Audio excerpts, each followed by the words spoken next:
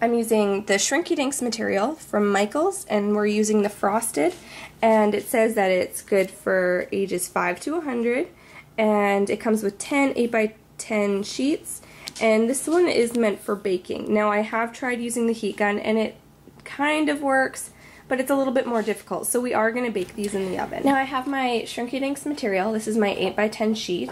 Um, there's a rough side and a smooth side. I don't think there's any um, right or wrong way of putting this down on your mat. I'm putting the rough side down because I think it may stick better with the adhesive.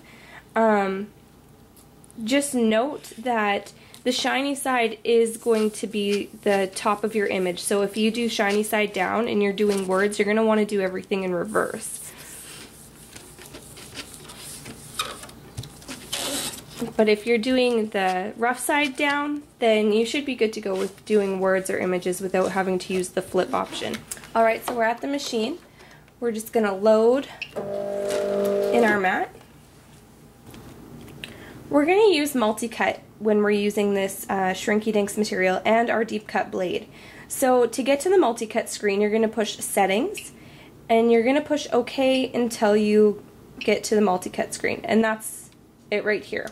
So we can now set our multi-cut to two, three, or four times. So that means it'll cut two times, three times, or four times. And we can just use these arrows to um, choose how many times we want our machine to cut the image out. So I'm just going to do multi-cut three, and then I'm going to push settings to exit, and then I'm going to make sure that I put my multi-cut on.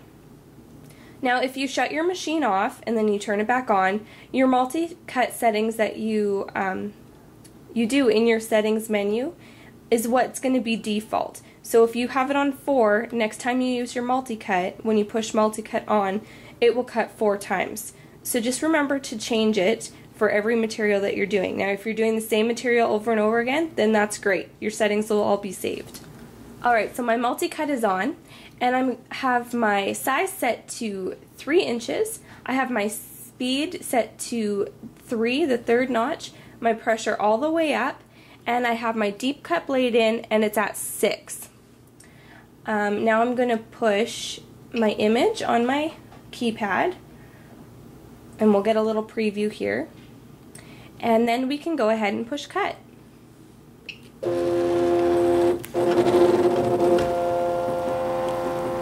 So I went ahead and cut out some more images. I cut out a turtle and an octopus as well, but I'm just going to show you how to get your Shrinky Dink image out of the material.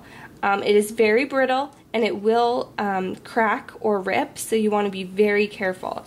Now I did multi-cut 3 and I find that works great. If you want to do an extra one, multi-cut 4, um, that'll work too and it, it'll just make it easier to pop out. But you just want to um, take your finger along the edge and just be careful and lightly lift up. So, and you might find that it sticks. Just be very careful when you're taking it out. Okay, so here are the three different images that I cut out. Um, the octopus actually worked out good. Now when we go to shrink it, it may be another story. So I wanted to do a little test run with it. So we'll see what happens. Now we again, we have our shiny um, soft side and our rough side. We're going to color the rough side. Um, now you can use permanent markers. I'm going to be using Sharpies. Um, or you can use pencil crayons or any other permanent um, ink you do not want to use water-based markers or water-based ink on here because it will just rub off. Alright, so they're all colored. Now let's head over to the oven. Okay, so um, I've preheated my oven to 325 and we're just going to put them on a baking sheet like so and just watch them shrink.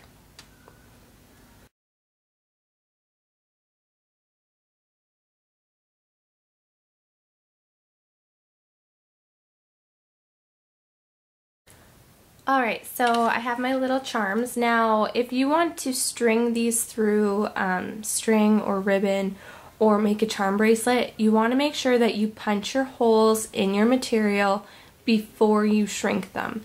If you don't, then there's no way to punch a hole after. Uh, for this project, I'm just going to be sticking them on my card, but again, if you want to make it a charm bracelet or a charm, um, if it doesn't already have a hole in it, because some of the cartridges do have a charm feature on the keypad, um, but you want to make sure that you punch your hole. Okay, so I'm going to assemble my card. Alright, so I have my twine on and my little boat, and now I'm going to adhere my little charm. Now I've decided just to go with the octopus for this card, but I can use these two for other projects. So I'm going to use um, some glue dots, um, some mini glue dots from Stampin' Up! to adhere my octopus on my card. Now the reason I'm using glue dots is because I want to make sure that it's a clear sticky adhesive. If you use pop dots um, or any other type of adhesive, you want to make sure that it is clear. Um, if it's not, you will see it through it.